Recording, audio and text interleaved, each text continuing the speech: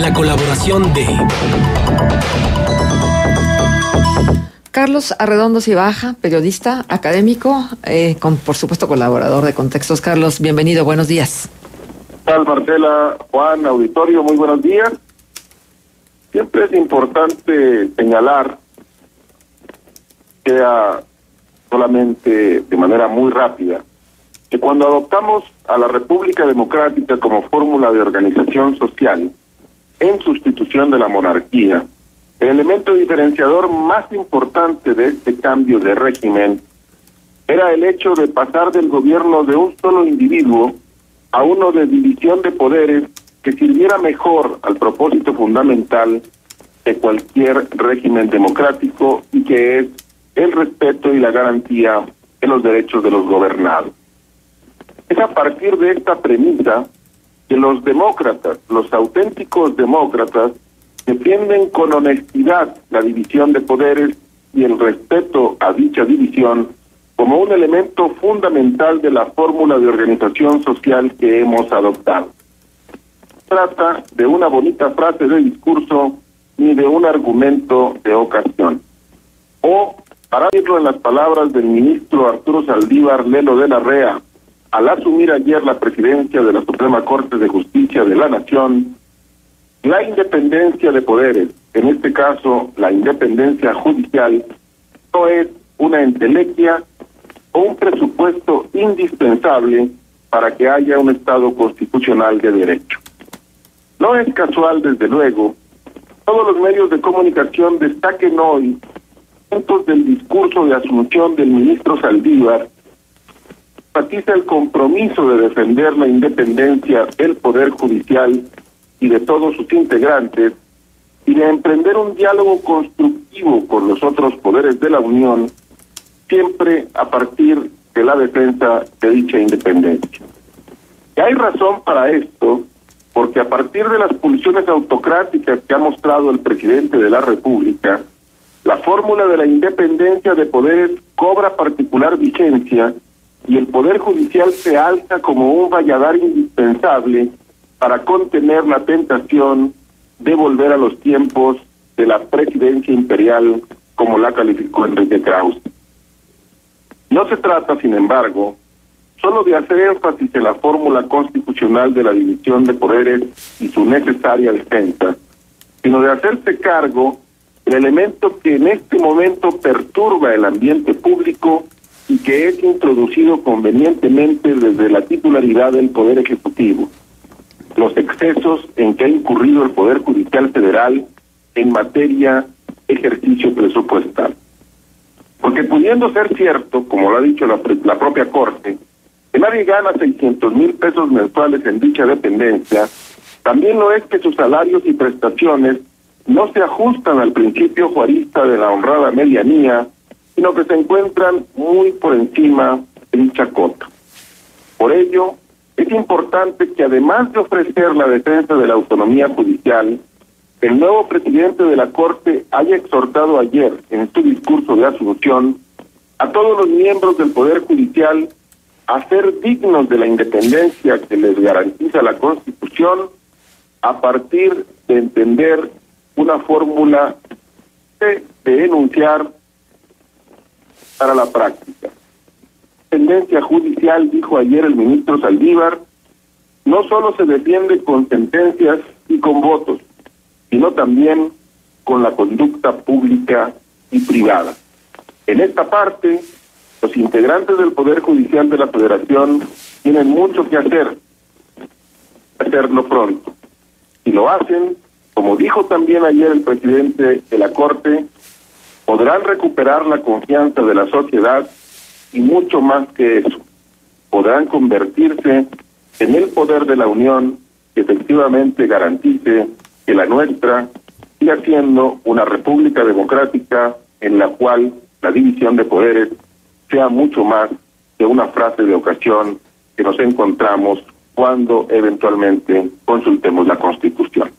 Hasta aquí el comentario. Oye, Carlos, es que es, es, muy interesante porque fíjate que hace mucho que yo no veía tantas coincidencias entre los opinadores, articulistas, editorialistas en relación al nombramiento de Saldívar. Y todos lo ven con una cara de, optimismo y además con como una una victoria, como dice Ricardo Rafael, que privilegia los derechos fundamentales de la persona sobre los intereses del poder y los poderosos. Entonces, bueno, hay una expectativa grande, nada más que este, pues no va solo, ¿no? Entonces hay todo un aparato de justicia a su alrededor que tendrá que, que obedecer este, pues, los lineamientos o, o, bien, este, pues él tendrá también que negociar o, que, que, cabildear las decisiones eh, de justicia que le toque tomar eh, con el resto de quienes conforman precisamente este que es uno de los poderes más importantes de nuestro país, el Poder Judicial.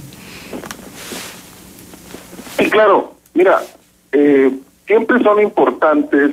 eh, los discursos que se dan en medio de coyunturas como la que estamos viviendo, y siempre es importante que los individuos asumen posiciones relevantes en los órganos del poder público, sean capaces de asumir los retos de su tiempo. Y en este caso, por lo menos en el discurso de Asunción, el ministro Saldívar parece tener muy claro que el Poder Judicial se encuentra en una coyuntura compleja y pretende, con elegancia, me parece, pero con una meridiana claridad, pretende hacerse cargo de esa parte que es difícil de defender a la vista del público.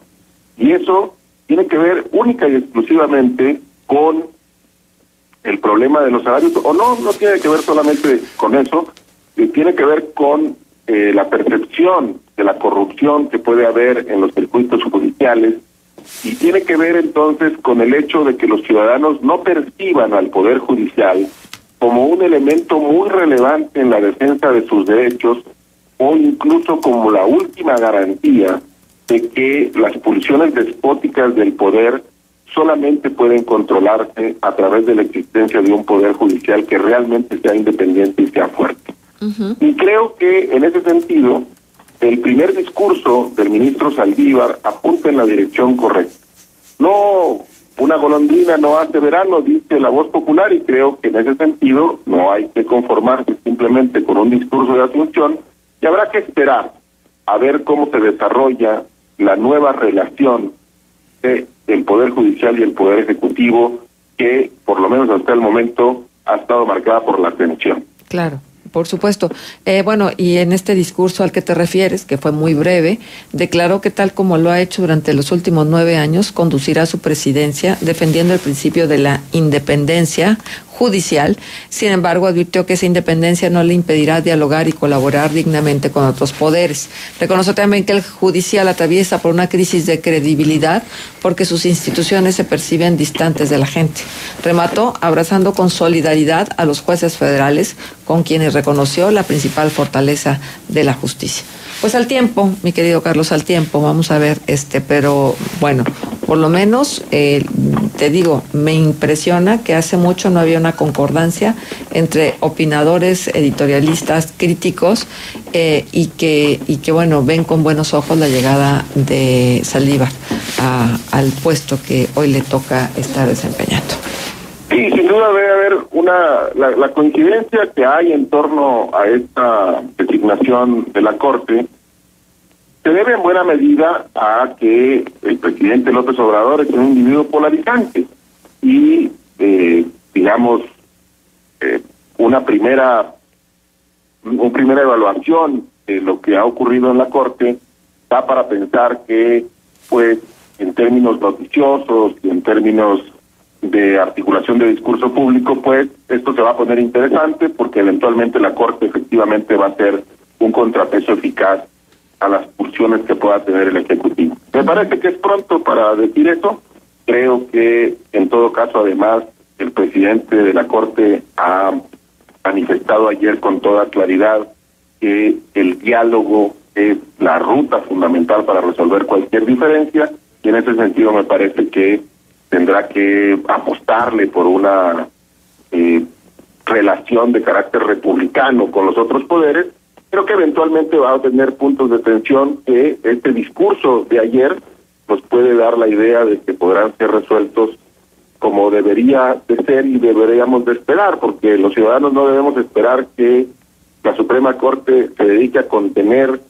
eh, o a ser un enemigo del presidente de la República, sino que se dedique a contener las pulsiones que él o cualquier miembro del Poder Ejecutivo tenga en contra de los derechos de los ciudadanos. Lo que tenemos que esperar es que el Poder Judicial se convierta en un defensor de nuestros derechos y a partir de esa defensa de nuestros derechos se convierta en un poder relevante y un poder que sea respetado por los ciudadanos. Eh, sí, eh, y me parece importante también esto que se señala, el nombramiento por cuatro años del ministro Arturo Saldívar Lelo de la REA deberá también eh, pues de conducir una reforma para la justicia de las leyes y la justicia que espera la ciudadanía eh, que en México debe de dejar de estar apartadas por el abismo. Y esta es la frase que me gustaría que nos detuviéramos en ella y que la y que de verdad la recordáramos eh, de estar ap ap apartadas por el abismo de la arrogancia que caracteriza a los operadores del derecho este nada más cierto Sí, claro, porque ese es otro de los problemas que tiene el Poder Judicial. Y allí es donde no hay que confundirse en la interpretación de lo que pasa ayer en la Corte con la elección del ministro Saldívar. No debe de interpretarse como un, eh, una asunción que tiene solamente lecturas políticas. Tendría que interpretarse como una elección que puede llevar al Poder Judicial a que la sociedad perciba que efectivamente se hace justicia en este país que quien requiere de la administración de justicia efectivamente la recibe y que la recibe como dice la Constitución, de manera pronta y expedita.